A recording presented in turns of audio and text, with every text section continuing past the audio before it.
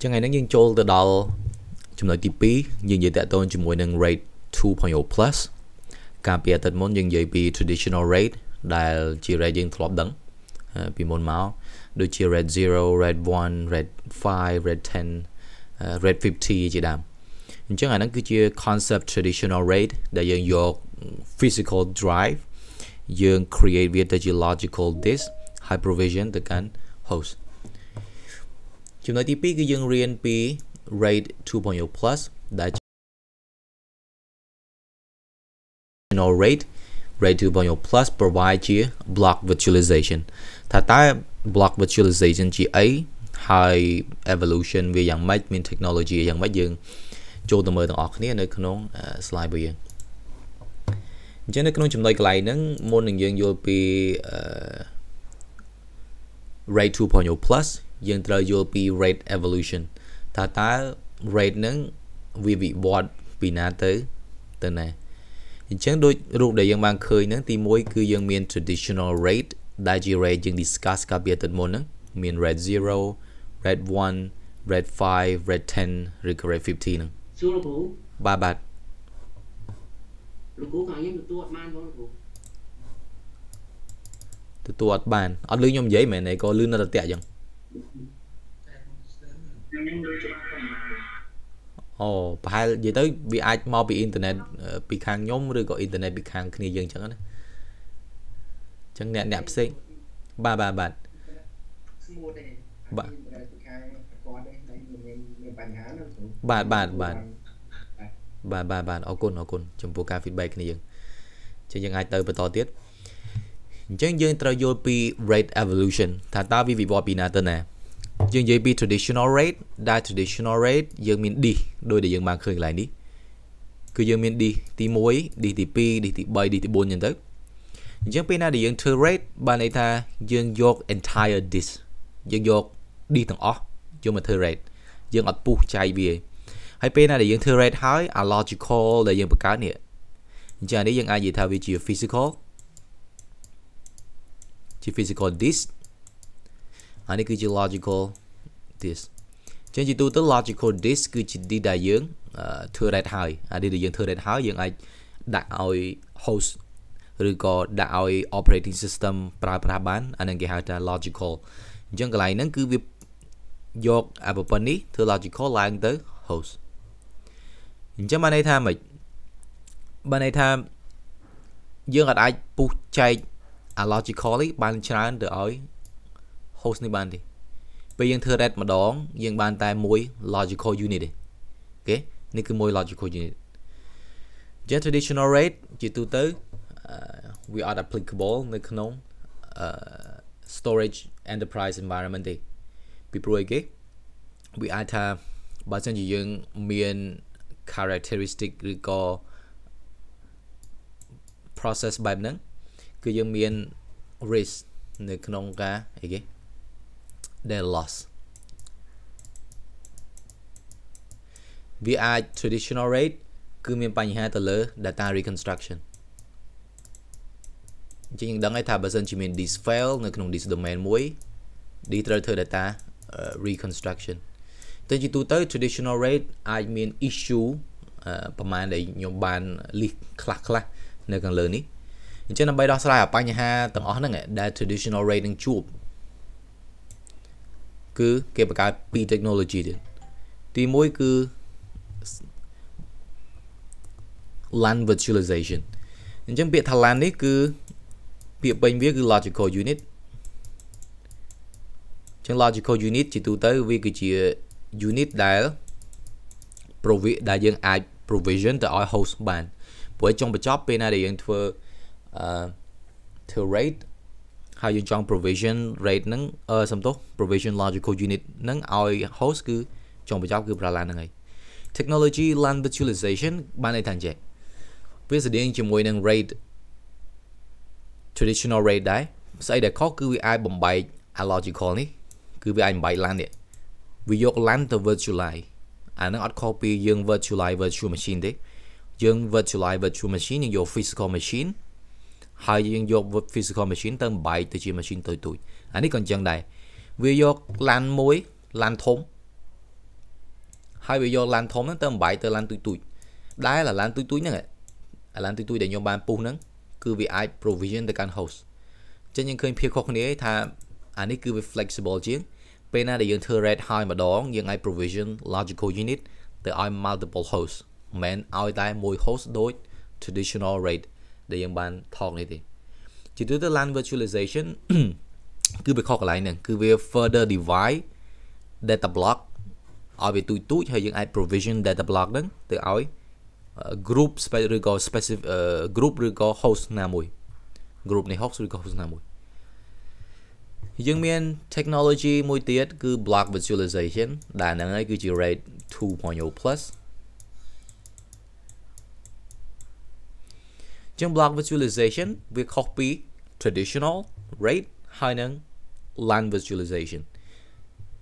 block virtualization បានន័យថាម៉េចវាយក disk មួយហើយពុះ disk ហ្នឹងជាច្រើនចម្រៀកដែលយើងហៅថាជាជាឆាំងជាមួយខ្ញុំគូរូបខ្ញុំគិតថាអាចងាយយល់ជាង white screen អញ្ចឹងនៅក្នុង block virtualization គឺបានន័យថាឧទាហរណ៍ថាខ្ញុំមាន disk មួយឥឡូវខ្ញុំឧបមាខ្ញុំមាន 3D ចុះខ្ញុំមាន 3D ខ្ញុំមាន D ទី1 D ទី2និង D ទី3នេះ dis 1 dis 2យ៉ាហើយនៅ dis ទី D ទី3ចឹងនៅក្នុង D ទី1បើសិនជាខ្ញុំប្រើ block virtualization ពេលណាយើងញាត់ disk ចូលហើយយើង create disk domain អញ្ចឹងបានន័យថាវានឹងពុះ D ហ្នឹងទៅជាច្រើនចម្រៀកយ៉ាអញ្ចឹងវាពុះ D ទៅជាច្រើនចម្រៀក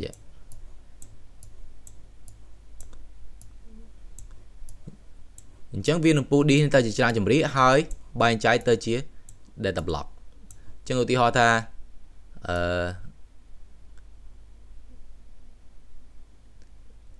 អា block នេះត្រូវបានប្រើប្រាស់ជាងអា block ត្រូវបាន occupy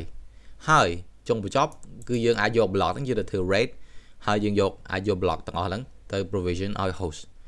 យ៉ាងហ្នឹងគឺជាភាពខុសគ្នាខ្លាំងរវាង LAN virtualization ហើយ traditional បើប្រៀបធៀបជាមួយនឹង rate 2.0 plus ចឹង rate 2.0 plus ជាជាងយើងយក entire disk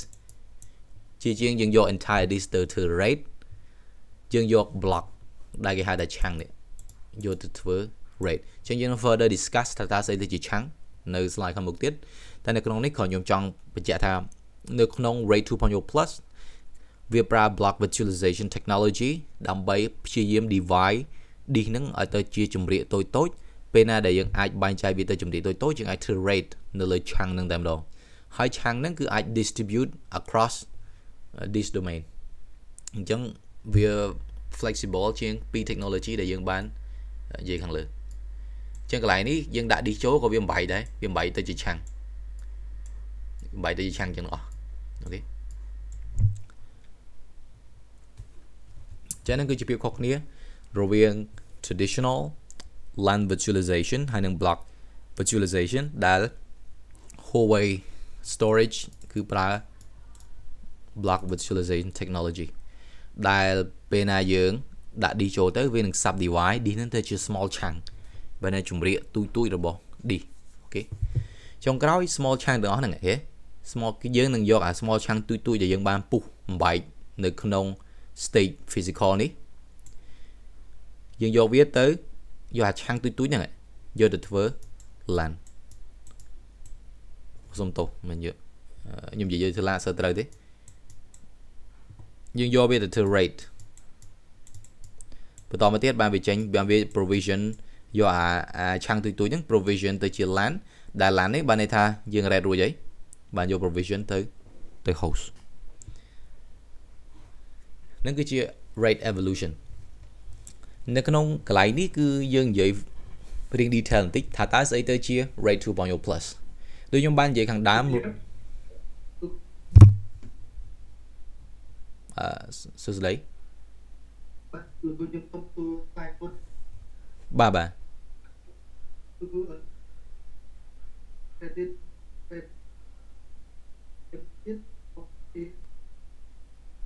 អឺសុំសុំទោះខ្ញុំខ្ញុំស្ដាប់ខ្ញុំស្ដាប់អត់សូវបានបានគឺវាថាខ្ញុំកុំព្យូទ័រនេះលោកគ្រូរៀនគាត់បាបាទបាទបាទសូមលោកគ្រូជាថា like credit default rate ហ្នឹងគឺមានផតទៀតតើគឺទីមួយផតទៀត ជាជាអ្វីសម្រាប់ credit ហ្នឹងហើយតើ language adaptation block with adaptation មានផតទៀតដែរគឺអត់ទេអូបាទបាទអរគុណច្រើនអញ្ចឹងខ្ញុំស្ដាប់សំណួរបានហើយអឺសំណួរចង់សួរថាតើ hot spare ហ្នឹងអីគេ នៅក្នុង traditional rate ហើយតើ hot spare ហ្នឹងមានអត់នៅក្នុង land visualization ហើយនិង block visualization ជាទូទៅ hot spare គឺជា ប្រភេទនេះដែលទុកបានន័យថាគេ reserve ទុកសម្រាប់ store parity ជាទូទៅណាអានឹងជា concept គឺសម្រាប់ store parity parity បានន័យថាម៉េចឧទាហរណ៍ថាយើងធ្វើ rate 5ជាងធ្វើ rate 5 minimum 3 disk យើងអាចខូចមួយ disk បានអញ្ចឹងអាចខូចមួយ disk បានអាហ្នឹងជា concept របស់ hot spare ហើយព្រោះឲ្យវាត្រូវ store parity ពេលណាដែលមាន disk failure គឺ hot spare ចាត់ទុកថាជា disk ដើម្បី reserve អញ្ចឹងគេអាចយក hot spare ហ្នឹងមកប្រើក្នុងករណីដែលមាន disk failure នៅមួយនៅក្នុង D domain ហ្នឹងចានេះគឺជា concept hot spare នៅក្នុង traditional rate ជាទូទៅគេយក physical disk ទៅធ្វើ hot spare ហ្មងអញ្ចឹងណាអានឹងគឺជា concept ប៉ុន្តែនៅក្នុង LAN virtualization ហើយនិង block virtualization hot spare នឹងមានដែរប៉ុន្តែវានៅក្នុងរូបភាពជាឆាំងនៅក្នុង Huawei block virtualization យើងនឹងនិយាយបន្ថែម តកតូនជាមួយនឹង hot spare hot spare policy នៅក្នុង slide ខាងក្រោយក្រោយក្រោយទៀតប៉ុន្តែស្អីដែលខ្ញុំអាចថានិយាយបាននៅក្នុងពេលហ្នឹងគឺគឺនៅក្នុង block visualization ក៏មាន hot spare ដែរប៉ុន្តែ hot spare វាគឺ based ទៅលើឆាំងទុយទុយមិនមែន based ទៅលើ physical disk ដូច traditional rate ទេអញ្ចឹងនៅក្នុង traditional rate ដូចខ្ញុំបាននិយាយខាងដើមវាមាន reconstruction time វែងវាយូរពេលណាដែលមាន disk failure ដោយសារតែវាប្រើ physical disk អញ្ចឹងបានន័យថា disk ហ្នឹងជាអ្នករ៉ាប់រងធ្វើ data reconstruction ប៉ុន្តែនៅក្នុង block virtualization ហើយនិង LAN virtualization អឺគឺវាអាចយកឆាំងមួយមួយទៅធ្វើ hot spare ហើយ hot spare នឹងអាច reconstruct បាន distributed ជា distributed manner across multiple disks ចឹងហ្នឹងយើងនឹង discuss នៅខាងក្រោយទៀតចឹងសេដែលខ្ញុំអាចអាចនិយាយឆ្លើយបានគឺខ្ញុំអាចឆ្លើយបានប៉ុណ្ណឹងអញ្ចឹងមិនថា traditional rate មិនថា block virtualization មាន hot spare ដូចគ្នាក៏ប៉ុន្តែ technique នៅក្នុងការបង្កើត hot spare វាខុសគ្នាអញ្ចឹងពេលយើងពេលយើង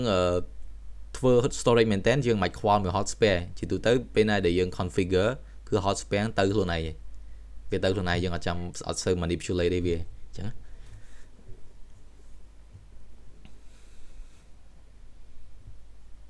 អញ្ចឹងអរគុណច្រើនបាទបាទអរគុណចឹងនៅក្នុងកន្លែងនេះវាគឺជា architecture ដែល describe operation របស់ RAID 2.0 plus អញ្ចឹង RAID 2.0 plus ដែលយើងបាន discuss មិននឹងរួចហើយថាវាយក physical disk ដែលយើងបានឃើញខាងក្រោមនេះយ៉ាចឹងវានឹងយក physical disk ហើយវាយក physical disk ទៅបំបែកទៅបំបែកអីគេទៅបំបែកជា CK CK ហ្នឹងមកវាពាក្យឆាំង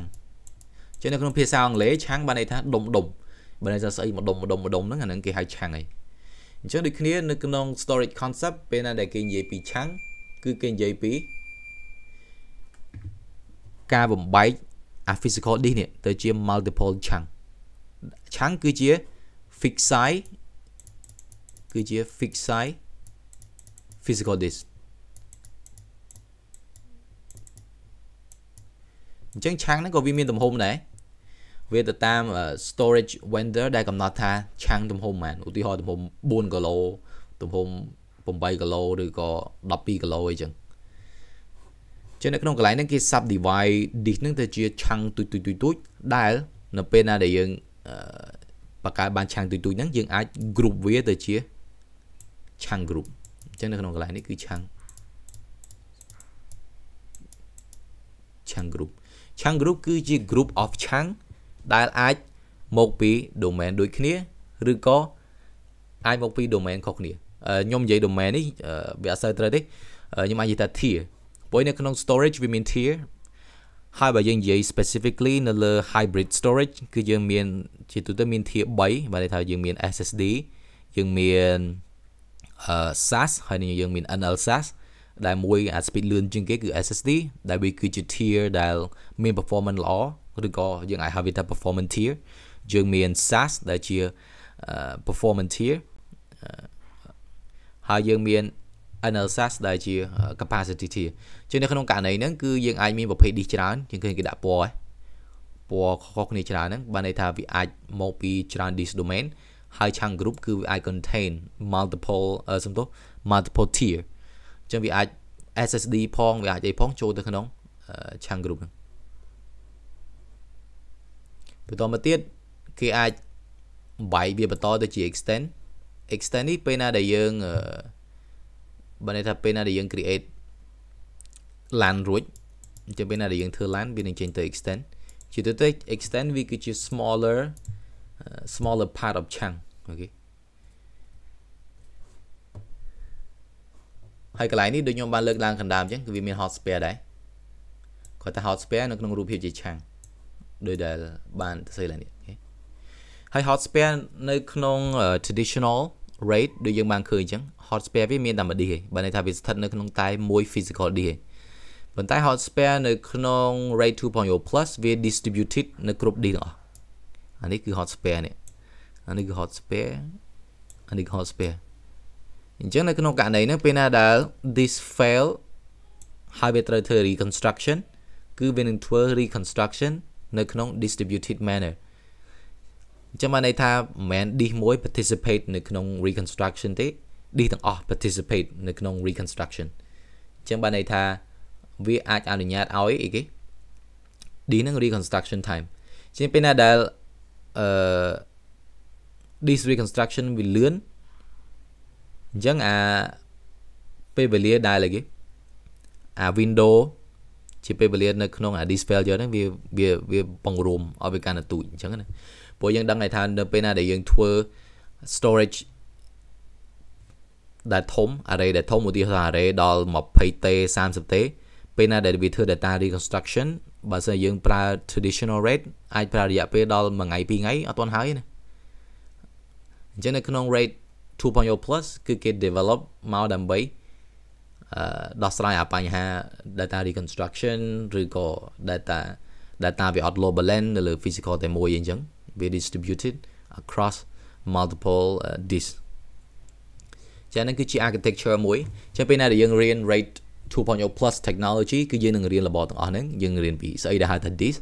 disk បំបែកទៅជា small chunk small chunk អាចទៅ regroup ទៅជា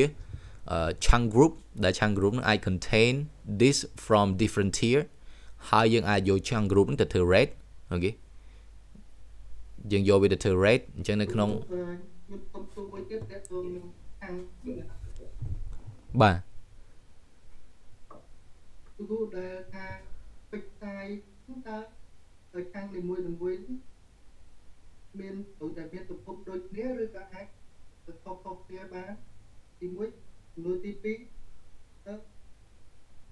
ពុតទិញអាពោលឿងលឿងវាបំផុតវាពេលតែគឺមានខាងណាខូចអាកត់ទៀតទៅទៅជួយព្រោះបើនេះបើតាយល់តាមអ្វីដែល ស្ដាប់ពីទៅដល់ពេលហាត់វាវាខូចវិញវាពីដ្រូនខូចតើតតជាមួយណាដែលមកអាចទទួលទាំងប៉ែតចឹងបាទអូហ្នឹងហើយអរគុណច្រើនចំពោះសំណួរអញ្ចឹងសំណួរទី1ឆាំង fix size ជាទូទៅ storage វាអ្នកធ្វើឲ្យទេអឺ បើតាមបបិសោតខ្ញុំធ្វើដូចជាអត់មានកន្លែងចូលទៅកែ fix size របស់ឆាំងទេប៉ុន្តែមានកន្លែងទៅកែ fix size របស់របស់ឆាំង group អានោះមានកន្លែងកែជាទូទៅជាទូទៅឆាំង fix size បើន័យថា size វាត្រូវដូចគ្នាទាំងអស់អូខេហើយអាហ្នឹង size វាអឺអាចខុសគ្នាទៅតាម disk tier ឧទាហរណ៍ SSD វាប្រើ size ផ្សេង hard disk សំទោស SAS វាប្រើ size ផ្សេង LSAS ប្រើ size ផ្សេងអាហ្នឹងខ្ញុំអត់ចាំថាប្រហែលទេប្រហែលជាត្រូវ check documentation ថាតើ size ដែលវាបំបែកទៅជាប្រមាណមេអញ្ចឹងណាព្រោះជាទូទៅសាយវាទូចទូចឯងអាហ្នឹងតាមប្រមាណ3ឯងជាទូទៅអាហ្នឹងខ្ញុំឆ្លើយសំណួរទី1សំណួរទី2អា hot spare កន្លែងនេះគឺអត់ខុសពីអីគេអត់ខុសពី AD អត់ខុសពី traditional rate ដែលយើងបាន discuss កាលលើកមុននេះវានឹងធ្វើ ដូចគ្នាពេលណាដែលអា hot spare នឹងខូចវានឹងធ្វើ XOR operation ព្រោះយើងដឹងហើយថាពេលណាដែលយើងមាន disk អញ្ចឹងមាន disk ដូចគ្នាវាមាន disk stripe អញ្ចឹងអានេះគេហៅថា disk strip អានេះគេហៅថា disk strip តទៅពេល disk មួយទៀតយើងមាន stripe វានេះអញ្ចឹងឧទាហរណ៍ថាយើងមាន line នេះអញ្ចឹងទៅ disk stripe អញ្ចឹងចុងក្រោយវានឹងចេញអីគេ a parity វា10 10ដូចខ្ញុំបើដូចយើងបានរៀនខាងមុន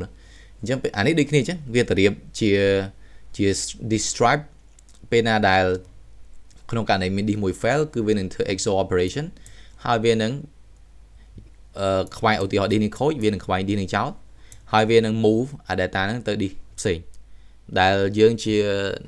storage engineer យូរទៅយើងអត់ specify ថាវាទៅ disk ណាគឺវាទៅខ្លួនឯងចឹងអញ្ចឹងវា automatic operation អាហ្នឹងយើងនឹងរៀននៅ slide ខាងមុខឯអត់អីយើងមាន slide មួយដែលបញ្យល់បញ្ជាក់បន្ថែមថាតើពេលណាដែលមាន disk fail វាទៅធ្វើស្អីគេនៅក្នុងឆាំងហ្នឹងចឹងកន្លែងនេះវាគ្រាន់តែជា operation ទូទៅនៅក្នុង rate 2.0 plus visualization ចឹងពេលណាដែលយើងមាន chunk group យើងបាយទៅជា extend នៅក្នុង extend យើងបាយទៅជា LAN ដែល LAN យើងអាច provision ទៅអឺ host បាន អានេះគឺជា reconstruction អញ្ចឹងអឺសូមបកទៅ slide នឹងបន្តិចហ្នឹងបាទបាទចង់ clear បានមកទិញពាក់ព័ន្ធជាមួយ client stand ណាបាទបាទអញ្ចឹងយើងមាន disk យើងមានឆាក់យើងមានឆាំងយើងមានឆាំងចឹងឆាំងរូបគឺកើតឡើងនៃចាប់យកឆាំងមួយពីពីក្នុង disk យកទៅបង្កើតជាឆាំងរូបបាទចឹងបាទបាទបាទបាទបាទអញ្ចឹង សម្រាប់នៅក្នុងឆាំងមួយទៀតនឹងឃើញដូចជាមានកឡោនត្រេត្រេយើងបែងចែកជាអង្គក្នុងនឹងទៀតដើម្បីបង្កើតជា extend ឬក៏យ៉ាងម៉េចដែរលោកជាទូទៅកន្លែងនេះជាទូទៅកន្លែងនេះគេចង់សំដៅលើ this striping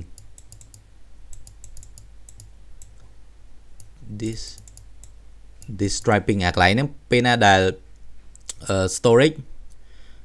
វាមាន this striping ដើម្បីវាមាន ID របស់វា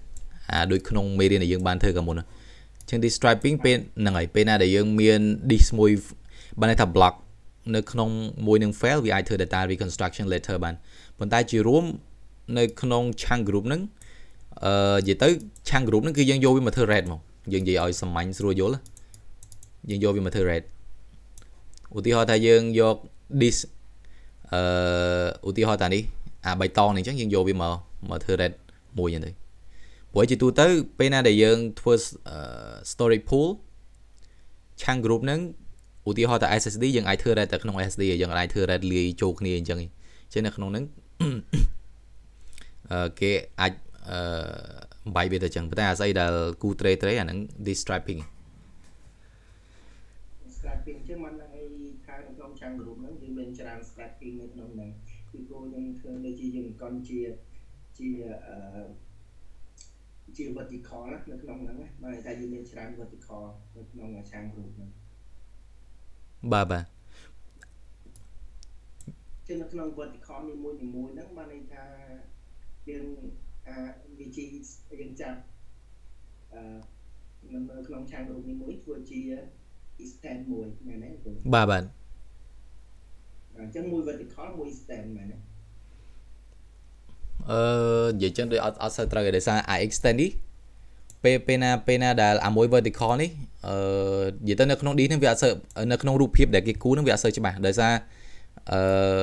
D ជាទូទៅវាអាចមានប្រភេទ D ច្រើនទៀតនេះវាអាចមាន ASD វាអាចអញ្ចឹងណាប៉ុន្តែអានេះគឺគ្រាន់តែគេ represent color ឲ្យថា D ហ្នឹងជា color ខុសគ្នាអា extend ដែលយើងយកមកកន្លែងនេះជាទូទៅគឺយើងអាចយកពី D នឹងមួយឬក៏ D ច្រើនទៀតបើន័យថា វាអាចមកពី D នេះតែមួយឬក៏ D ច្រើនចេះព្រោះ extend ហ្នឹងវាអាច mix វាអាច mix ASD វាអាច mix SAS វាអាច mix NL SAS ចូលបានណាអូខេលោកគ្រូប៉ុន្តែប៉ុន្តែអាអា red នេះអា red នឹងមិនអត់កើតទេពេលណាយើងធ្វើ red នៅលើ SD គឺយើងធ្វើតែ SD ទេពេលណាយើងធ្វើសាសគឺធ្វើតែលើសាសនិយាយទៅវារបៀបអញ្ចឹង អូខេអញ្ចឹងឆាងរូបអឺឆាងរូបគឺជា rand មួយមែនទេលោកគ្រូបាទបាទហ្នឹងហើយនិយាយឲ្យស្រួលស្ដាប់អាឆាង group ហ្នឹង red អូខេតោះនៅលោកគ្រូតោះបាទអញ្ចឹងនៅនៅក្នុងអាអឺរូបភាពនេះវាគួរអត់អស់ដោយសារបើសិនជាយើងនិយាយថាមានប្រភេទ dish ច្រើនទៀតយើងគូអញ្ចឹងអត់តន់គ្រប់គ្រាន់ទេអាកន្លែង color ដែលគេដាក់នេះគេគ្រាន់តែចង់សម្ដៅថា dish ហ្នឹងមកពី physical ណាតែគេអត់បានអឺបញ្ជាក់បន្ថែមថាតើ dish ហ្នឹងជា D អីគេ ព្រោះឯចុងក្រោយអា extend នេះគឺអាច mix between SSD SAS អីចូលគ្នាបានណាព្រោះឯ extend នេះវាចូលដល់វាចូលដល់ LAN ហើយហ្នឹងចឹង extend ហ្នឹងបើយើងប្រៀបធៀបទៅលក្ខណៈដូចជា pool មួយចឹងមែនទេលោកគ្រូ pool បើនៅក្នុង technology storage ផ្សេងគេហៅគេហៅ disk pool ហ្នឹងមែនទេលោកគ្រូដែលយើងអាចអឺកំបាញរវាងប្រភេទ hard disk ច្រើនទៅក្នុង pool តែមួយមាន SSD មាន SATA មាន មាន Alexa ដើម្បីយើងបង្កជា tiering នៅក្នុង pool ហ្នឹងណាលោកគ្រូបាទបាទនិយាយទៅបើសិនជា tiering technology គឺយើង enable លើហ្នឹងហើយអញ្ចឹងបានន័យថាវា mix between អាទាំងអស់នេះអញ្ចឹងយើងអាចធ្វើ tiering policy កន្លែងលើហ្នឹងបានអូខេតោះលោកគ្រូបាទបាទបាទបាទបាទហ្នឹងហើយអញ្ចឹងអានៅក្នុង extend ហ្នឹងអឺ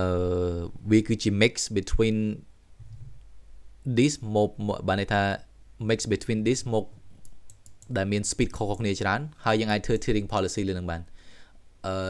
អរគុណបងដែលនិយាយពី tiering policy ខ្ញុំអាចប្រាប់គ្នាយើងបន្តិចជាទៅ tiering policy វាគឺជា policy ដែលយើងអាច move data block ពី SSD ទៅ SAS ឬក៏ NSAS បានវាបានន័យថា move បានដោយ automatic move បានដោយ manual ឬក៏មានវិធីសាស្ត្រផ្សេងអាហ្នឹងវាទៅតាម storage vendor ខុសគ្នាអញ្ចឹងណាតែ tiering policy គឺមានលក្ខណៈបែបហ្នឹង ព្រោះឯដោយសារខ្ញុំបាន talk ខាងដើមអី tiering គឺជាអីគេ tiering ឧទាហរណ៍ថាយើងនិយាយពី SSD វាជា high performance tier អញ្ចឹងទៅអឺ SAS ជាជា performance tier អញ្ចឹងទៅចឹងយើងនឹង discuss ពេលក្រោយស្អីទៅជា tiering policy ព្រោះអានេះវាចូលលក្ខណៈអឺជា software base នៅលើ storage architecture អញ្ចឹងយើងនិយាយបន្តតាក់ទងជាមួយនឹង data reconstruction ថាតើនៅពេលណាដែលមាន disk មួយ fail តើវា behave ខុសគ្នាមិនរវាង traditional RAID ហើយនឹង RAID 2.0 plus ចឹងនៅក្នុង traditional RAID ដូចយើងបាននិយាយអឺមកឲ្យថានៅក្នុង traditional RAID គឺវានឹងយក disk បានន័យថា physical disk មួយយកទៅធ្វើអឺ hot spare ចឹងឧទាហរណ៍តែកន្លែងនេះ វាយក D នេះយកទៅធ្វើ hot spare អញ្ចឹងពេលណាដែលយើងធ្វើ data reconstruction គឺវា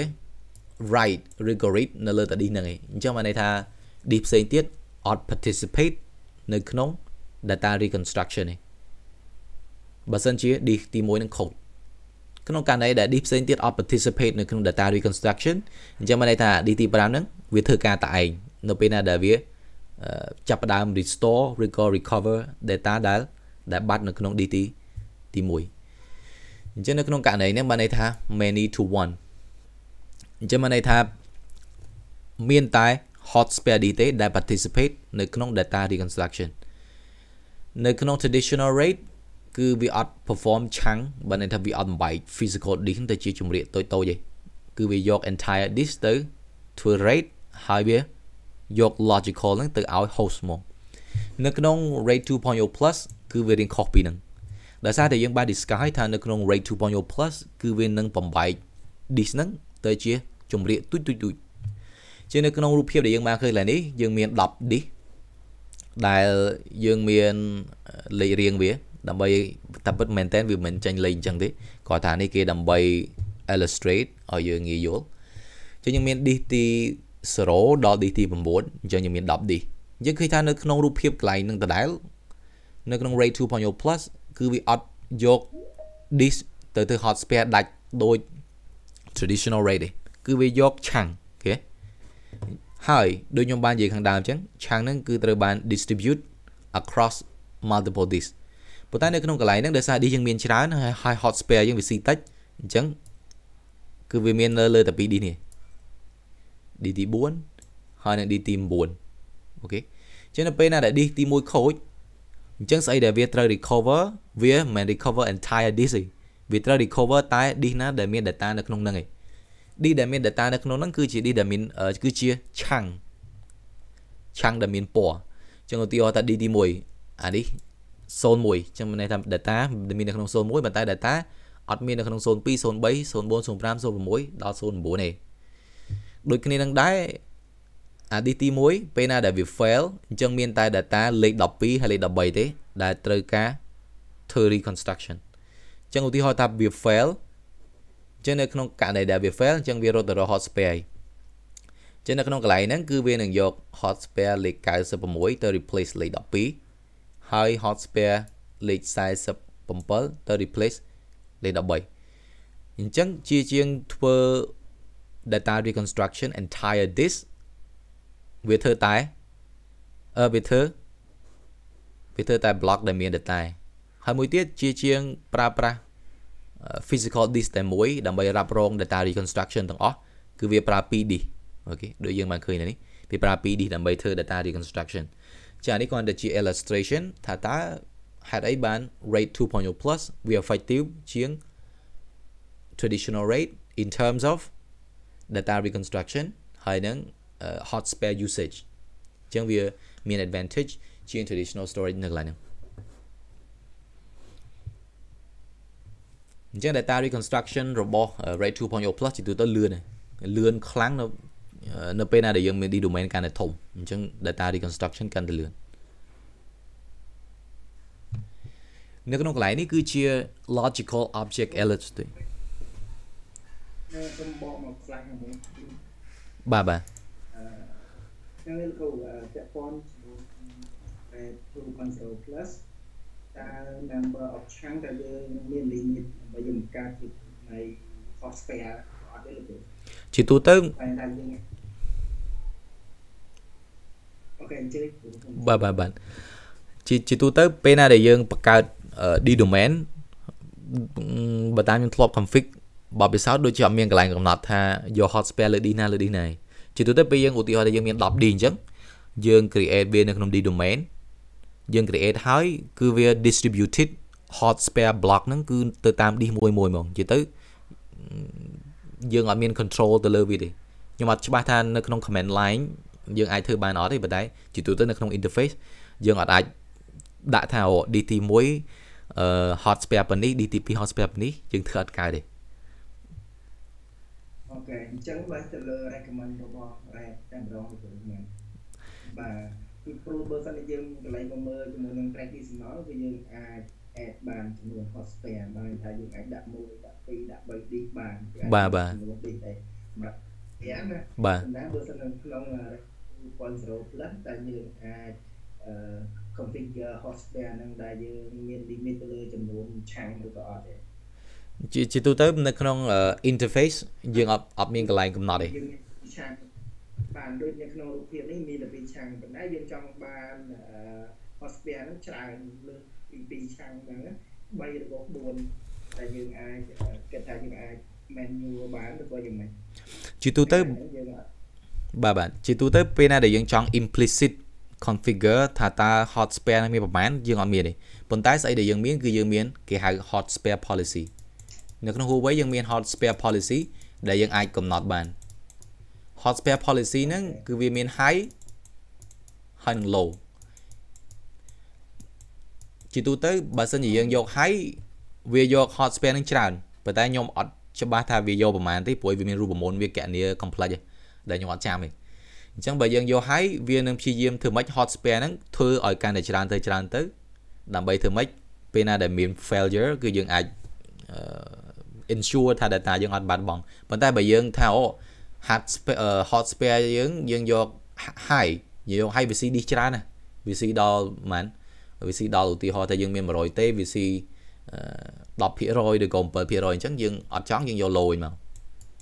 ចឹងបានន័យថាវាតម្លាក់ a hot number of hot spare block ហ្នឹងទៅកម្រិតតូចមួយដែល VC space តិចប៉ុន្តែបើសិនជា explicit កំណត់ថាអាហាត់អា disk នឹងមានប្រមាណមានប្រមាណខ្ញុំអត់ដូចជាអត់មានទេតាម command line interface ប៉ុន្តែបើសិនជាអឺអឺច្រឡំសុំទោសតាម web web interface ប៉ុន្តែបើសិនជា command line ខ្ញុំអត់ច្បាស់ដែរបានគ្រូបាទបាទហ្នឹងហើយបានគ្រូហើយ question មួយទៀតគ្រូពាក់ព័ន្ធជាមួយនឹងជាក់ស្ដែងការនៃការប្រើប្រាស់ជាក់ស្ដែងណាគ្រូបាទបាទហាត់ឌីវាមានបញ្ហាបើន័យថាវាមានបញ្ហាប្រឆាំងមួយតើវាអាចខូច entire ឌីក៏យ៉ាងម៉េចដែរគ្រូបើសិនជាថាខូចយើងឃើញយើងឃើញគឺថាខូចនៅក្នុងលេខចាងតែទី12ឯងអញ្ចឹងនៅក្នុងហាត់ឌីទី1ដែលមានលេខ12ឆាំងលេខ12នឹងខូចតើហាត់ឌីទី1នឹងខូចទាំងអស់តែម្ដងឬក៏ទៀតខូចតែឆាំងទី12នឹងមួយ បើសិនជាបើសិនជាខូចឆាំងតែមួយខ្ញុំអត់ច្បាស់ដែរព្រោះបើសិនជាខូចឆាំងបានន័យថាបើសិនជានៅលើ hard disk វាហើយយើងអាចខូច sector ណាមួយរបស់ឆាំងអានេះខ្ញុំអត់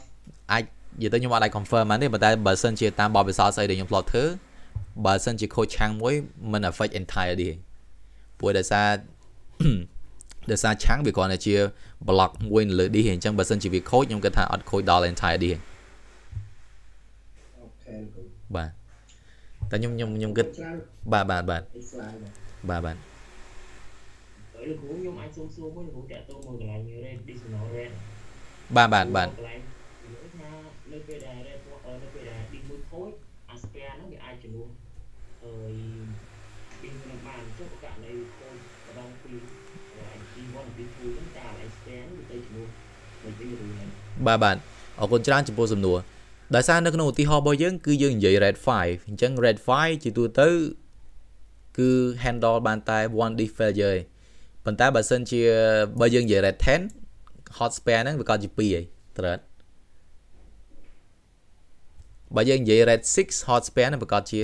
ប្រកាសជា2ឯងអញ្ចឹងដោយសារនៅក្នុង context របស់យើងយើងនិយាយពី red 5អញ្ចឹងយើងមាន hot spare តែមួយឯងបើសិនជាមាន disk 2ខូចចប់ឯងនៅក្នុង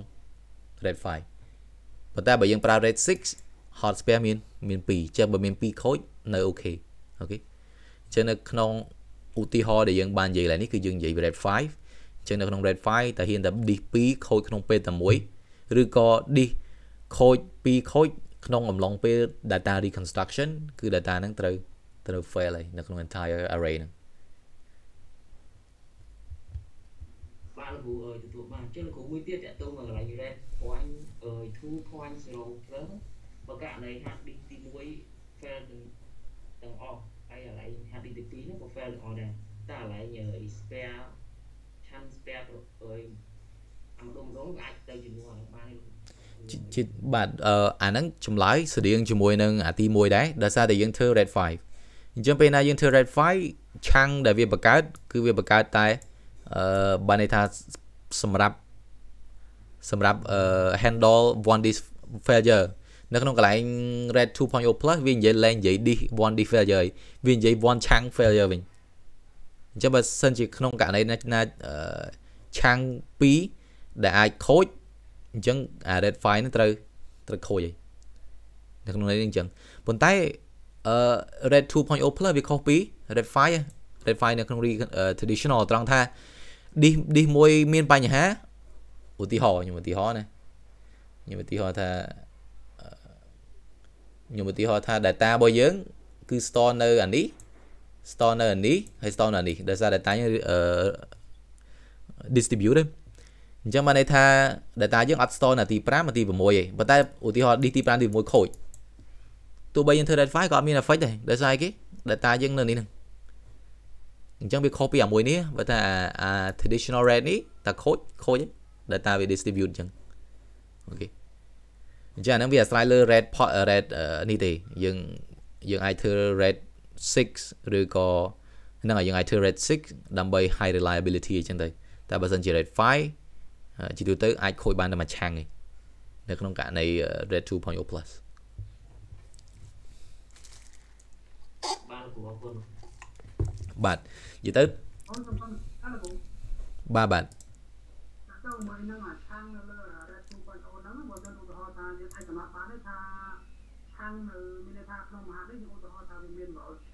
រដៅប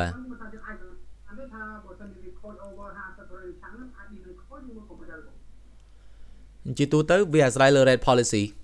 បើសិនជាយើងធ្វើ rate 5អឺ hot បើយើងធ្វើ rate 5ឆាំងនីមួយនីមួយដែលបង្កើតឲ្យជា LAN ហ្នឹងចុងបញ្ចប់បង្កើតឲ្យជា LAN ហ្នឹងវាអាចខូចលើសពី1ឯងបើសិនជាខូចលើសពី1អា LAN ហ្នឹងខូចដែរចឹងអញ្ចឹង និយាយទៅវាបាទបាទបាទអញ្ចឹងនិយាយទៅវាអាស្រ័យទៅលើអា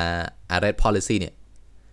អា rate policy នេះ rate 5 rate 10 rate 50អញ្ចឹងវាអាស្រ័យលើអាយើងកំណត់ហ្នឹងឯងអាហ្នឹងទី1មួយទៀតវាអាស្រ័យទៅលើអា hot spare policy ដែលខ្ញុំបាន talk មិញហ្នឹងនិយាយទៅវាមានពីរកលៈនៅក្នុង rate 2.0 plus យើងអាចបង្កើត hot spare policy ឲ្យកាន់តែធំបន្តមកទៀត redundancy មួយតង់ទៀតគឺយើងអាចធ្វើ rate អឺ បើន័យថា rate type នេះឲ្យកាន់តែធំយើងអាចមាន reliability កាន់តែខ្ពស់គោលគោលសុំសុំមួយបាទអញ្ចឹងឥឡូវខ្ញុំនិយាយឆាំងសរោឆាំងសរោខ្ញុំខូចទី23មួយទៀតមានន័យថាវាខូចទេខូច23ឆាំង0ខូចទី23ហ៎ខូចនេះហ៎នេះมันខូចខូចខូចទី12មួយបាទបាទអញ្ចឹងឥឡូវចង់ខូចទី2មួយទៀតទេ ខូចអា23មួយទៀតហ្នឹងហើយអូខេចុះមានថាអឺតែយើង present ឲ្យ host ហ្នឹងគឺវាខូចមែនព្រឹង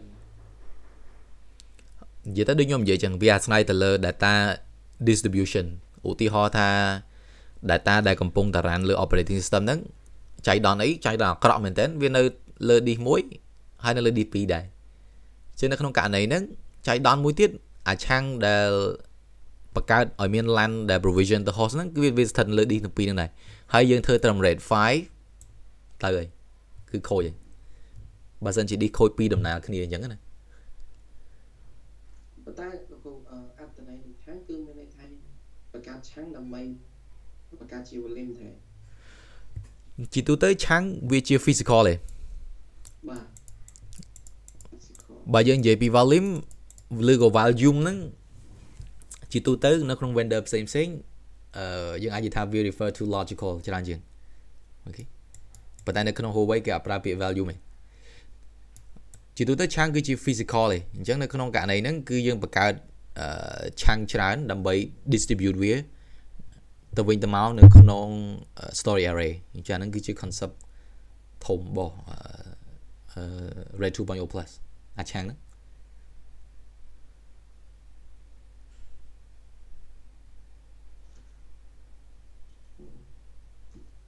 និយាយទៅវាវាបាក់ visual- វាបាក់ visualize ទេដោយសារនេះវាឥឡូវខ្ញុំបង្កើតឆាំងទៅមិនបានខ្ញុំបង្កើត visibility បានជាទូទៅយើងត្រូវ follow step នេះពេលណាយើងមានយើងមានឆាំងយើងរុញឆាំងទៅក្នុង storage pool បើន័យថាយើង group ឆាំងនេះទៅជា specific group ហើយយើងអាចយកអាហ្នឹងទៅធ្វើ red បានទេពេលណាយើងយកធ្វើ red បានយើងយកឆាំងបង្កើតជាក្រុមឆាំងយកអាក្រុមឆាំងហ្នឹង បង្កើតជា LAN អូយកអញ្ចឹងមានន័យថាឆាំងនេះវានៅផ្សេងគ្នាគាត់មកវាបង្កើតជាក្រុមឆាំងហើយបង្កើតជា LAN ហ្នឹងហើយ correct អញ្ចឹងមានបាទថា data ហ្នឹងវារាយពេញហ្នឹងហ្មងហ្នឹងហើយហ្នឹងហើយ data វា distribute ពេញ disk ទាំងអស់អូខេ disk ហ្នឹងមានទាំងអស់ហ្នឹងហើយប៉ុន្តែបើសិនជាករណីឆាំងហ្នឹងគឺយើងបង្កើតជាក្រុមឆាំងគឺក្រុមនៃឆាំងហ្នឹងវា based on red ដែលយើងបង្កើតវិញ ហ្នឹងហើយអញអញនិយាយចឹងបានព្រោះអីចុងបញ្ចប់យើងយកអាឆាំង group យកធ្វើ red យើង group ឆាំងនឹងចូលគ្នាយកធ្វើ red បាទហ្នឹងហើយឆាំងក្រុមហ្នឹងយើងយកធ្វើ red ហ្នឹងខ្ញុំសុំសួរវិញថាតើ red ហ្នឹងយើងអាច define ថាមានគ្រប់ red ដូច traditional ដែរមែនក៏មានលើសទៀតមកថាមាន red 0 red 1 red 5 6 red 10និយាយទៅកន្លែងហ្នឹងវាយក red traditional យកមកប្រើហ្មងអូខេគាត់ថាចេះយកយក traditional ហ្នឹងហើយហ្នឹងហើយគាត់ថាស្អីដែលខុសគ្នាគឺ red traditional យើងធ្វើលើ physical ប៉ុន្តែ red នៅក្នុង red 2.0 plus វាធ្វើលើឆាំងខុសគ្នាឡើយហ្នឹងហើយយកយកហ្នឹងហើយហ្នឹងហើយហ្នឹងតែហើយថាយើងវាខុសគ្នាត្រង់ថាអឺនេះយើងបង្កើតឆាំងហើយបើយើងយកទៅធ្វើ red ហ្នឹងហើយហ្នឹងហើយយកហ្នឹងហើយចឹងភាពខុសគ្នារបស់វាខ្លាំងគឺអាមួយធ្វើ red នៅលើឆាំងអាមួយធ្វើ red លើ physical អាហ្នឹងខុសគ្នាខ្លាំងបាទបាទ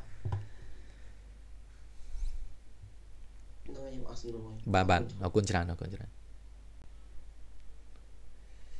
ញ្ចឹងបន្តមកទៀតយើងនិយាយពី logical object ខ្ញុំគួរមួយដែរបាទបាទខ្ញុំបាច់ទៅ slide បានតែតមួយអាឆាំងគ្រប់ហ្នឹងអឺគ្រប់ឆាំងទាំងអស់ត្រូវតែចេញមកពី different physical នេះត្រូវគួរអត់អាចថាអឺក្នុងឆាំងគ្រប់មួយអាចមានអឺឧទាហរណ៍ថាមាន2 block នៃឆាំងហ្នឹងចេញមកពី disk តែមួយត្រូវត្រូវតែចេញមកពី disk ខុសគ្នាត្រូវ ជាទូទៅនៅក្នុងឆាំង group កន្លែងនេះគឺ disk តែមួយឯងនេះឃើញគេវាមានពណ៌ឯងនេះឃើញពណ៌ប៉ុន្តែចុងក្រោយគឺយើងអាចយកអា disk ទាំងអស់ហ្នឹងយកទៅធ្វើ red យល់ទេចឹងបានន័យថាអឺឆាំងគ្រប់ហ្នឹងអាចយកឆាំងអឺពីពីឧទាហរណ៍ថាមានពីពីប្លុកនៃឆាំងណាកន្លែងយើងធ្វើ red file មិញបាទមានពីប្ពី physical disk តែមួយអញ្ចឹងបើសិនជា physical disk ហ្នឹងមួយខូចបានន័យថាអាឆាំងគ្រប់របស់យើងហ្នឹងក៏ក៏ក៏ខូចតាមនឹងដែរហើយគោអឺអត់អត់អត់ទេអត់ទេអត់អត់និយាយទៅអត់ទេព្រោះអីពេលណាដែលយើងធ្វើឆាំង group យើងមិនមែនយកអា vertical យកទៅធ្វើណាយើងយកអានេះ horizontal នេះយកទៅធ្វើនេះមើល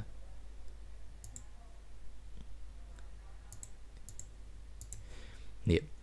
អានេះ អា vertical នេះគេជួយចង់បញ្ជាក់ថាអាឆាំងហ្នឹងគឺយកមកពី d ដូចវាដូច ID វាអញ្ចឹងប៉ុន្តែដល់ពេលយើងធ្វើឆាំងមែនតើគឺយើងយកអាទាំងអស់នេះធ្វើ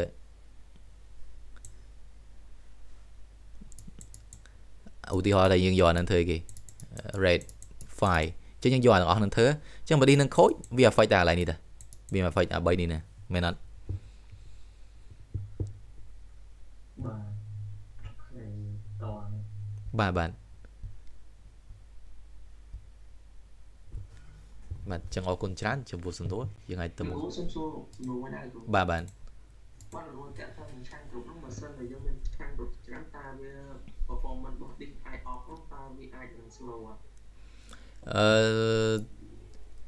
បើសិនជា performance តាមបបពិសោធន៍ដូចជាអត់ effect អីដែរទេអឺពេលណាយើងមាន disk យើងមានឆាំង group ច្រើនវាអត់ affect ដល់ performance នេះដោយសារអីគេឆាំង group វា cons- វា consume ទៅលើឆាំងឯង អញ្ចឹងបើន័យថាយើងពេលណាយើងបង្កើតទោះបីយើងបង្កើតតាមមួយឆាំង group ក៏ដោយក៏អា disk ហ្នឹងវា spread entire disk ដែរទោះបីយើងមាន100 disk ក៏វា spread អាឆាំង group នៅធ្វើម៉េចឲ្យបាន balance នៅគ្រប់ entire disk ដែរអញ្ចឹងណាទៅគ្រូចុះអឺជាទូទៅ best practice ឆាំងគ្រប់ជាមួយនឹងឆាំងហ្នឹងតើជាទូទៅមានប៉ុន្មានដែរគ្រូនៅលើ storage នេះ អឺជាទូទៅខ្ញុំខ្ញុំអត់អាហ្នឹងតើខ្ញុំមើល data sheet ដែរខ្ញុំអត់ច្បាស់ថាវាមានប្រមាណទេប៉ុន្តែខ្ញុំខ្ញុំជឿថាអាចដល់រាប់រយដូចជាអត់អីទេហើយនៅក្នុងការធ្វើមែនតែនខ្ញុំជឿថាយើងអត់សូវបង្កើតច្រើនប៉ុន្មានទេយើងបង្កើតដិតតិចដែរទេអញ្ចឹងណាឧទាហរណ៍ដូចឆាំង group អាហ្នឹងជាអឺឆាំង group អីយើងបង្កើតខ្ញុំថាប្រហែល10អីហ្នឹងអាចគ្រប់គ្រាន់ទេមួយ project មុំមុំជាទូទៅយើងអត់បង្កើតដល់រាប់រយទេខ្ញុំគិតអញ្ចឹងណា តែបើថាឲ្យប្រហែលខ្ញុំអត់ច្បាស់ដែរតើមើល data sheet ទេមើលទៅលោកលោកគ្រូសុំសុំបែកតាកន្លែងមួយអឺយើង create ឆាំងគ្រប់ហ្នឹងសុំមើលតិចខ្ញុំសុំអានេះអានេះហ្នឹងហើយអូខេអាមិញមិញអានេះតាំងមានលេខគ្រូអូអាត្រាមានលេខអានេះ data reconstruction បាទខ្ញុំសួរបន្តិចអឺអញ្ចឹងឆាំងលោកគ្រូថាមិញវា spread ទៅទាំងអស់ហើយអញ្ចឹងបើថាខ្ញុំចង់បង្កើតឆាំងគ្រប់ខ្ញុំខ្ញុំយក 5 disk បើថាមាន20 disk ខ្ញុំយក5 disk មកធ្វើឆាំងគ្រប់មែនឬក៏អត់ទេកំកំកំណត់កំណត់អត់បានទេនៅក្នុងអឺពេលណាយើង log ចូល web ពេលយើងធ្វើឆាំង group យើងអត់អាចកំណត់បានទេថាយើងយកឆាំងមកពីណាយើងកំណត់បានទេអូយើងមើលថាវាយកទៅទាំងអស់ហ្នឹងហើយវាយកទាំងអស់ហ្មងឧទាហរណ៍យើងក្នុង D array របស់យើងយើងមាន100 D ហើយយើងពេលយើងបង្កើតឆាំង group គឺយើងអត់អាច select ថាអូយើងចង់យក D ទី10 D ទី20 D ទី30យើងធ្វើយើងអត់កើតទេគឺវាមា នន័យថាវាធ្វើ automatic ណាវាទៅ select ឆាំងនៅគ្រប់ D ឲ្យយើងហ្មងណាអញ្ចឹងអញ្ចឹងចុះចុះអឺអញ្ចឹងមើលថាអូអញ្ចឹងមើលថាយើងគ្រាន់តែបង្កើតឆាំងគ្រប់មួយទៅវាអត់មានស្អឲ្យយើង select ថាឆាំងគ្រប់ឥឡូវខ្ញុំចង់បង្កើតឆាំងគ្រប់ file select 5 disk ឬ10 disk ពី1ដល់10អីចឹងវាថាវាទៅខ្លួនឯងទាំងអស់តែទៀតហ្នឹងហើយនិយាយទៅយើងអត់ select ចំនួន D ទេយើង select capacity ឧទាហរណ៍អូ capacity ហ្នឹងហើយឧទាហរណ៍យើងចង់បានប៉ុន្មានយើងចង់បានឆាំង group លេខ10 capacity 100G អញ្ចឹងវាចេះហ្មងវាទៅបង្កើតអាឆាំងហ្នឹងធ្វើម៉េចឲ្យគ្រប់ 100G ហើយវា distribute អាហ្នឹងធ្វើម៉េចឲ្យគ្រប់ physical D ឲ្យយើងហ្មងអញ្ចឹងអញ្ចឹងវាអញ្ចឹងហ្នឹងហើយហើយសួរមួយទៀតលោកគ្រូអឺ storage Huawei ចាប់អឺបើសិនជាយើងនិយាយថាយើងធ្វើឆាំងធ្វើអីបានចុះបើយើងប្រែទៅយកអាហ្នឹងទៅធ្វើ traditional សតបាន អត់អូធ្វើធ្វើអត់បានទេព្រោះ architecture របស់វាគឺវា build មកអញ្ចឹងឯហ្នឹងអូវាវាមកអញ្ចឹងមើលថាអ្នកណាចង់ធ្វើជា traditional ក៏បានចង់ធ្វើទៀតហ្នឹងក៏បានទៀតអត់ទេអត់ទេអត់ទេព្រោះឯ traditional តតតែពួកអឺបានន័យថាពួក rate controller សេរីមុនមុនណា rate controller យូរយូរហើយបានយើងទៅធ្វើចឹងកើតតែនេះអត់ទេ architecture វា build មកគឺ build base លើ rate 2.0 plus ហ្នឹងមកបាទបាទ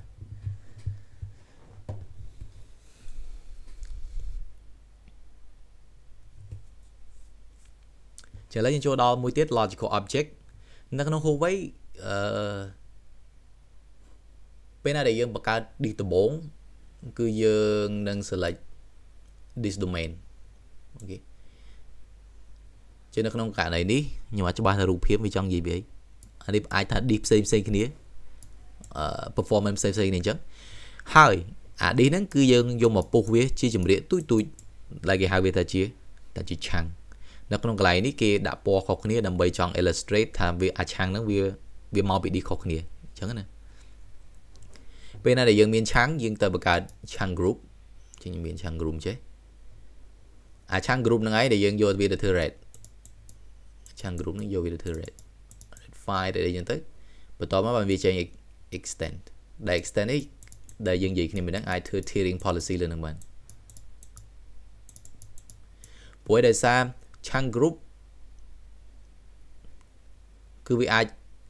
មកពី disk ផ្សេងផ្សេងគ្នាបើន័យថា disk ឧទាហរណ៍ថាមកពី SSD មកពី SAS មកពី NSA អញ្ចឹងណាតែតែពេលវាវាចូលទៅដល់ extend គឺវាមិនចូលគ្នាឯងវាមិនចូលគ្នាអញ្ចឹងបាទយើងអាចធ្វើ tiering policy លើនឹងបានបន្តមកទៀតបានវាចេញ volume អូខេនៅក្នុងនេះយើងអាចធ្វើ tiering អូអានេះគេដាក់ទៅ tiering policy លើនឹងបាន មួយទៀតបើសិនជាយើងមកពី disk ប្រភេទតែមួយឧទាហរណ៍ថាបើយើងធ្វើតែ SSD ឯងនៅក្នុងឆាំង group អឺសំទោសនៅក្នុង extend ហ្នឹង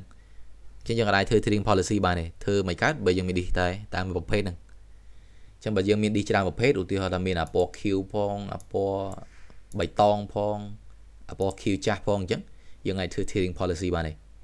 តែអាមួយនេះវាមកតែពីពណ៌បៃតងធ្វើអត់កែទេដោយសារតែ disk វាមានតែមួយប្រភេទទេចុងក្រោយ គឺយើងមានអាពណ៌ស្វាយមួយទៀតអញ្ចឹងអារបស់ទាំងអស់ហ្នឹងគឺនឹងអាច provision ទៅជាទៅជា LAN ចឹងយូរទូទៅអា extend នេះគេ consider វាជា smallest smallest uh, storage unit អូខេ smallest storage unit ដែលយើងអាច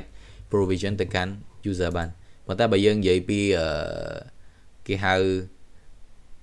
smart គេហៅ SYN ពួក SYN technology ចឹងវាអាចមាន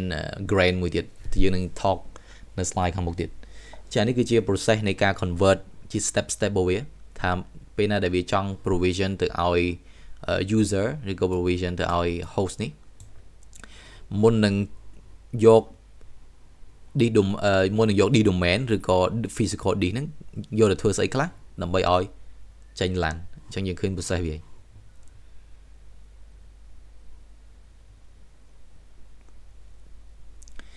ជាជាទូទៅពេលណាដែលយើងរៀន Huawei storage specifically យើងរៀនដំបូងគេ D domain ជាជាទូទៅ D domain គឺជា combination របស់ D ផ្សេងផ្សេងគ្នាអាច D មកពី SSD D មកពីអីគេ SAS D មកពី NSAS ពួកឯងជារួមគឺយើងមានប្រភេទ 3D SAS ដែលជា high performance tier យើងអឺសំទោស SSD យើងមានខ្ញុំសេនេះវិញ SSD ដែលជា high performance tier យើងមាន SAS ជា performance tier ហើយយើងមាន NSAS ដែលជា capacity tier អានេះ speed ល្អជាងគេអានេះ speed ល្មមអានេះ speed រៀងយឺតជានៅក្នុងកន្លែងហ្នឹងយើងមាន physical disk ហើយយើងអាច create this domain ព្រោះនៅក្នុង Huawei storage ពេលណាដែលយើង lock ចូល web interface វាទៅពេលយើងមាន disk 10វាឲ្យបង្កើតឲ្យពេលយើងចង់បង្កើត disk domain យើងយក disk ប្រមាណញាត់ចូលទៅក្នុង disk domain ហ្នឹង ជាងអាចបង្កើតចឹងបានហើយ disk domain ដូចខ្ញុំបាននិយាយចឹងអត់ចាំបាច់អីគេអត់ចាំបាច់មានតែ disk តែមួយប្រភេទទេវាអាចមាន disk ច្រើនប្រភេទចូលទៅក្នុង disk domain ហ្នឹងដោយកន្លែងនេះយើងឃើញថា disk domain មួយគឺមានអីគេ high performance tier ផងមាន performance tier ផងចឹងហ្នឹងគេហៅថា disk domain មួយទៀតយើងមាន storage pool អញ្ចឹង storage pool អានេះ ពេលណាយើងបង្កើត D domain ចប់ D domain ហ្នឹងវានឹងចេះទៅបំបែក D ទាំងអស់ទៅជាឆាំងអញ្ចឹងនេះគឺជា D domain នេះអញ្ចឹងពេលណាដែលយើងបង្កើត D domain ហើយវានឹងបែក D ទាំងអស់ទៅជាឆាំងដូចយើងបានឃើញកន្លែងនេះ Q បៃតង Q ទុបអឺ Q ចាស់អញ្ចឹងទៅមួយទៀត storage pool ដែលយើងបាននិយាយគឺនៅលើនេះអានេះគឺជា storage pool story pool គឺនៅក្នុង chunk group ដែលយើងអាចធ្វើ write លើនឹងបាន នេះគឺជា story pool story pool គឺជា storage resource container ដែលវាអាច contain multiple អឺបានន័យថា multiple type of this ឬក៏ multiple tier ចឹងដូចយើងបាននិយាយខាងដើមហើយថា tier វាមានច្រើនយើងអាចយក multiple tier ទៅដាក់នៅក្នុង this domain តែមួយយើងអាចមាន SSD ដែលគេហៅ high performance tier ជាទូទៅ SSD យើងដឹងហើយថាវាអាច support intensive read write ហើយនឹង high IOP អញ្ចឹងយើងអាចយកវាទៅធ្វើ database application អីចឹងទៅមួយទៀតយើងមាន tier 1ដែល tier 1នេះគឺជា performance tier ជាទូទៅ speed វាអាចមាន 10k 15k ដែលលើសពី NLSAS NLSAS ជាទូទៅតែ 720k per round per minute អញ្ចឹងទៅវា performance យឺតជាងក៏ប៉ុន្តែវាប្រើ technology SAS តែមួយក៏ដោយ ជានៅក្នុង storage tier ជាទូទៅយើងអាចធ្វើ rate បានជានៅក្នុងនេះគេដាក់ឲ្យយើងមើលជា rate level ចឹង rate level ហ្នឹងវាជាយើងយើងអាច consider ថាវាដូច traditional rate ចឹងគាត់ថាវាធ្វើ rate លើឆាំងវាធ្វើ rate នៅលើឆាំងមិនមែនធ្វើ rate នៅលើ physical disk ទេជានៅក្នុងករណីហ្នឹងជាទូទៅ rate 1នៅក្នុង Huawei storage Red 1អត់មានទេអា Red 1អត់មានក្នុង storage Huawei Storage Huawei មានពី Red 5 Red 6 Red 10ហើយនិង Red 50មកអត់ Red 1ហើយ Red 3អត់មានទេដោយសារវា low reliability ចឹងវាអត់ដាក់មកទៅវាដឹងថានៅក្នុង critical application គឺគេអត់ប្រើពួក Red ចឹងទេចឹងយើងឃើញកន្លែងនេះនៅក្នុង Red Huawei គេតែងតែសរសេរអញ្ចឹងឧទាហរណ៍ to this plus to this ឬក៏ for this plus for this អញ្ចឹងទៅ ចឹងក្នុងករណីយើងកន្លែងនេះគឺគ្រាន់តែចង់សម្ដៅថាបើសិនយើងមាន 4D បើសិនយើងមាន 4D 2D អឺជា D ធម្មតាអានេះជា D ធម្មអឺខ្ញុំនិយាយអត់ត្រូវទេដោយសារ red 10វាចេះ red 10បានន័យថាយើងមាន D មួយយើងមាន D មួយទៀតអានេះយើងធ្វើ red 1យើងមាន disk មួយមាន disk មួយទៀត red 1 ហើយបើយើងយក disk ហ្នឹងមកធ្វើ red red 0ចឹងនៅក្នុងករណីនេះបានន័យថាវា need at least 4 disk អូខេឬក៏យើងអាចពី4យើងអាចដាក់8 8 disk ដោយសារនៅក្នុង red 6ជាទូទៅគេ recommend ឲ្យយើងប្រើ4បន្តមកទៀតឬក៏ប្រើនិយាយទៅប្រើ2ស្វ័យគុណឧទាហរណ៍យើងប្រើ4បើយើងចង់ធ្វើ red ទេគេ recommend ឲ្យប្រើ8ឬក៏16មក តែទោះបីជាយើងអត់ follow តាម recommendation របស់គេក៏នៅតែធ្វើការដែរគាត់ថាអានឹងជា main base recommendation ដោយសារតែ architecture របស់វាគឺវាយក red 1ហើយនិង red 0ហ្នឹងមក combine បញ្ចូលបញ្ចូលគ្នាជាងវាអាច take advantage uh, redundancy របស់ red 1ហើយ take advantage speed របស់ red 0នៅក្នុង red 3ជាងយើងដឹងហើយថា red 3វាគឺជាប្រភេទ red ដែលអីគេដែល policy ដែល ដែល dis គេហៅ hot spare dis របស់វាគឺវាជា fix parity វាអត់ distributed parity ដូច red 5ចឹងនៅក្នុងករណីហ្នឹងវាមាន option ច្រើនដែលយើងរើសដែរអាចមាន 4D parity មួយ 2D parity មួយ 8D parity មួយអញ្ចឹងទៅចឹងដោយសារកន្លែងនេះវាដាក់ 1P ហ្នឹងបានន័យថា1 hot spare ឬក៏មួយ parity disk ជានៅក្នុង red 5ដូចគ្នា red 5វាអាច support failure of one disk អញ្ចឹងវាបូក 1p ដែរអានៅនៅក្នុងនេះពេលណាដែលយើងធ្វើ maintain ត្រូវ consider ដែរបើសិនជាយើងចង់បាន reliability ខ្ពស់យើងអាចកំណត់ hot spare policy បានហើយនៅក្នុងកន្លែងនេះយើងអាចកំណត់បានទៀតអឺឧទាហរណ៍ថាយើងមានយើងមាន10 disk ឬក៏20 disk ក៏ដោយតែយើង select 2 disk បូក 1p ឲ្យតែ 2 disk វាយក parity មួយ 2 disk យក parity មួយអញ្ចឹង disk យើងខាតច្រើនណាស់តែបើយើងអត់សូវចង់ខាតទេយើងយកនេះបានតែ 8 disk បានវាយក parity មួយចឹងនៅក្នុងករណីហ្នឹងវាអាស្រ័យលើយើងទេយើងចង់បាន reliability ខ្ពស់ឬក៏ចង់បាន capacity ខ្ពស់វាអាស្រ័យទៅលើ application ដែលយើងចង់ប្រើដែរចឹងអានេះដូច red 50ជា red 50វាយក red 5 combine ជាមួយនឹង red 0ហើយចុងក្រោយយើងមាន red 6ដែលជាទូទៅបើយើងប្រើ NLSAS គឺគេ recommend ឲ្យប្រើ red 6ដើម្បី high capacity ព្រោះអីជាទូទៅតែកាលណាយើងធ្វើ cluster អឺសំទោសយើងធ្វើ rate របស់ NLSAS ជាទូទៅឌីសច្រើនណាស់ហើយដល់10 20 50 D អញ្ចឹងទៅចឹងនៅក្នុងនេះយើងមាន DG ដែលជា physical component របស់ this domain ចឹងយើងនៅក្នុងនេះយើងមាន D ប្រភេទច្រើនហើយមាន SAS SSD NLSAS ជាជាទូទៅយើងដឹងហើយថាចុងក្រោយពួកអស់ហ្នឹងវានឹងបាយដូចជាឆាំងឆាំងបាយដូចជាឆាំង group ដែល allocate ពី different disk នៅក្នុង disk group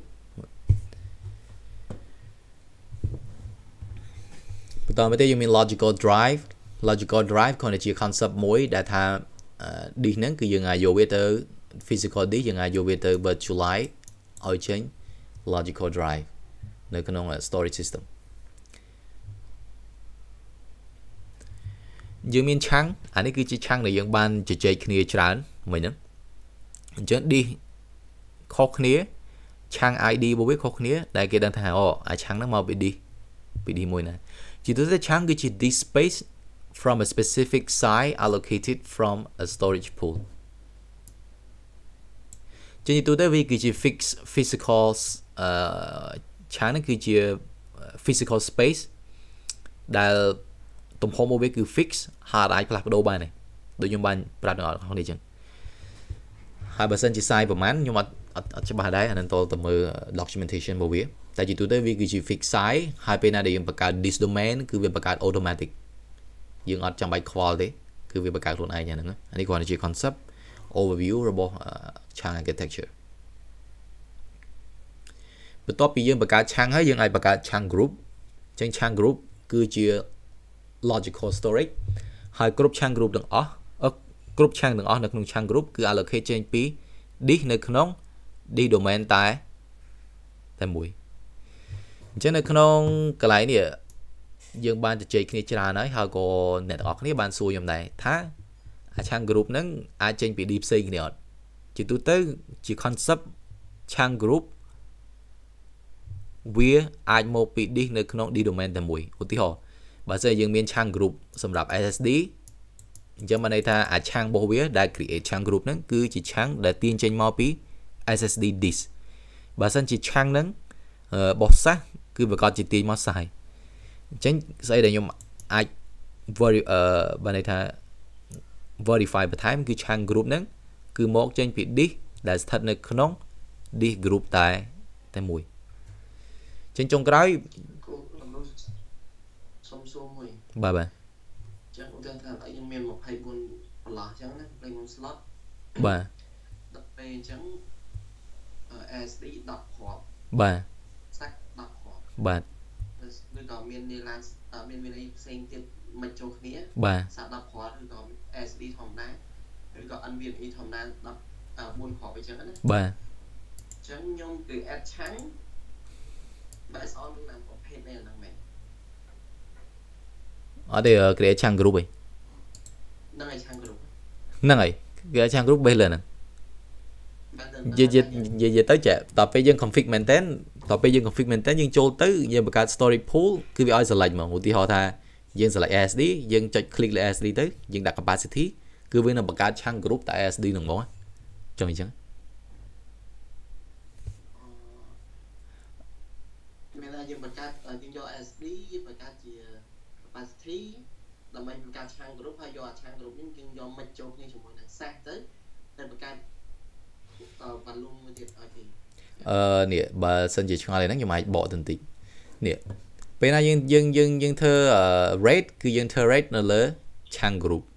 ពេលយើងធ្វើ rate នៅលើ chunk group យើងដឹងហើយថា chunk group គឺជាអីគេគឺជាប្រភេទអានេះមកពីមកពីអឺបានន័យថា ASD ប្រភេទតែមួយចឹងឧទាហរណ៍តែយើងឃើញពណ៌ខៀវខៀវអស់គាត់តែបៃតងបៃតងទាំងអស់លឿងទុំលឿងទុំទាំងអស់ប៉ុន្តែអានេះអា extend នេះពេលណាដែលយើងចង់បង្កើត value វាអាចមិនចូលគ្នាយើងឃើញវាមិនទេអានេះមិនទេបាទ ហ្នឹងហើយអញ្ចឹងពេលយើងមិនចូលគ្នាហ្នឹងយើងអាចបង្កើតជាឡានបាទ capacity SD នេះបង្កើតដល់បង្កើតលើឆាំងគ្រប់នេះទៅ capacity ASD ហ្នឹងហើយបង្កើតលើឆាំង group អូខេយល់យល់យល់បាទបាទមិនឲ្យគួរឲ្យតមកបាទបាទអរគុណច្រើនអញ្ចឹងយើងមានឆាំង group ដែលឆាំង group ហ្នឹងគឺជាគឺជា group ដែលឆាំងរបស់វាគឺមកពីអឺគេហៅមកពី D group តែមួយអញ្ចឹងបើថា ASD គឺ ASD SAS គឺ SAS NSAS គឺគឺ NSAS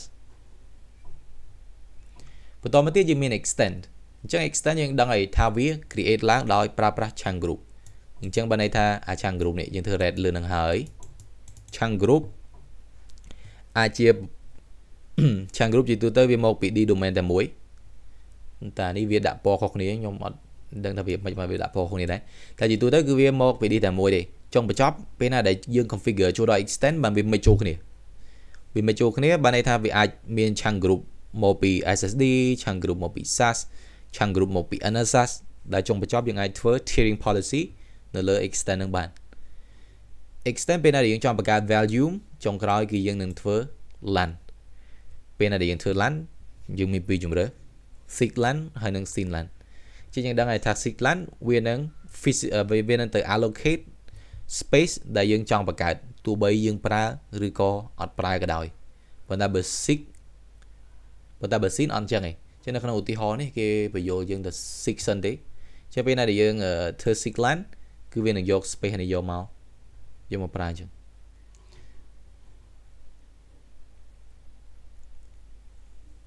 ជាញទូទៅ extend គេថាវាគឺជា minimum unit uh, granularity for migration and statistic hot data ជាញទូទៅពេលណាដែលយើងធ្វើ tiering policy អី data ត្រូវ migrate ចុះឡើងចុះឡើងអឺហើយ hot data អីជាទូទៅគឺអឺធ្វើនៅលើ extend ហ្នឹងធ្វើនៅលើ LAN level ហ្នឹងអញ្ចឹងពេលណាដែលយើង configure tiering policy ជាទូទៅយើង configure LAN level ហើយបើសិនជាយើងចង់ monitor IO ថាតើ data ហ្នឹងគឺជា hot data អត់ អាហ្នឹងក៏យើងអឺធ្វើនៅលើហ្នឹងដែរនៅក្នុង Huawei Storage ក៏មាន feature មួយដែលយើងអាច monitor IO ថាតើយើងចង់ដឹងថា data ហ្នឹងវា hot data អត់បើសិនជា hot data វាចេះ move វាចេះ move ទៅ SSD អញ្ចឹងទៅជាយើងនឹង talk ពីអា feature ទាំងអស់ហ្នឹងនៅគាត់ថាប្រហែលជា4មេរៀននេះទៀតនឹងទៅដល់បន្ទាប់ពីយើងនិយាយពី extend ដែល extend ហ្នឹងគឺ refer ទៅ SIG LAN ចុងបញ្ចប់គឺយើងយកវាមកធ្វើ SIG LAN យើងមានមួយទៀតគឺ grain អញ្ចឹង grain ហ្នឹងវាទូជាង extend ហ្នឹងទៀតបានន័យថាយើងយក extend ហ្នឹងទៅធ្វើ grain grain ហ្នឹងគឺប្រើប្រាស់សម្រាប់ SYN LAN យើងដឹងហើយថា SYN LAN វាខុសពី SIG LAN ត្រង់ថាម៉េចត្រង់ថាវានឹង C capacity តែ capacity ដែលយើងប្រើប្រាស់ឯង capacity យើងចង់ allocate ប្រមាណក៏ដោយតែយើងអត់ប្រើវាគឺវាអត់ C capacity ហ្នឹងឯងបើយើងប្រើ SYN technology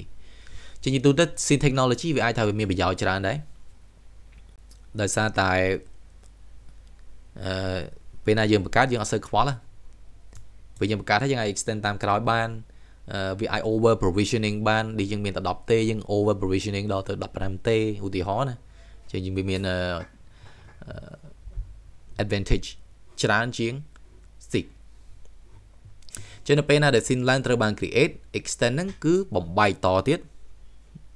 ទៅ concept ដែលយើងហៅថា grain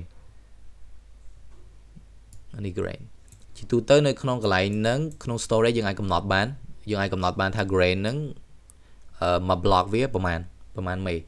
ជាទូទៅ by default ដូចខ្ញុំចាំដូចជា4មេមួយ block វា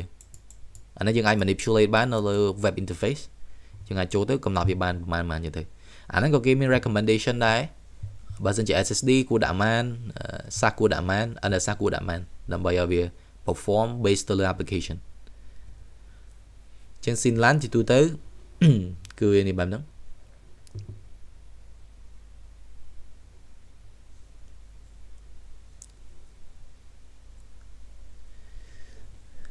ចុងក្រោយគឺយើង provision LAN ដើម្បីបោះឲ្យ user ប្រើអូខេ ជាធម្មតា storage ចុងបញ្ចប់យើងមាន volume ដែលយើង provisioning ទៅឲ្យ server ក្នុងរូបភាពជា logical unit ឬក៏ LAN ហ្នឹងឯងចឹង logical unit យើងអាច map direct ទៅកាន់ host ដើម្បីឲ្យ host ហ្នឹង read ហើយនឹង write data ហ្នឹង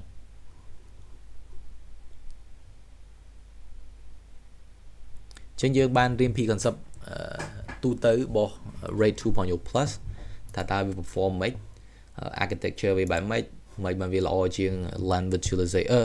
មិនបានវាល្អជាង traditional RAID ជាងបានរៀន concept ហ្នឹងឯង